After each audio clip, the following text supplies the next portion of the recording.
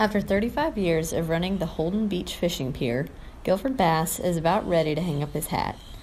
Earlier this year, Bass made the decision to sell the pier, which has been in the family for nearly 60 years, and put the money into a trust for his children. However, a number of circumstances have caused Bass to hold off selling the pier until next year. We don't have anyone in the family to take it over. Um, I do have two children, they have their own lives. Uh, they'll most of the money anyway, but 71, so I, I, need to start thinking about uh, the possibility of selling some of the properties uh, that belong to the pier.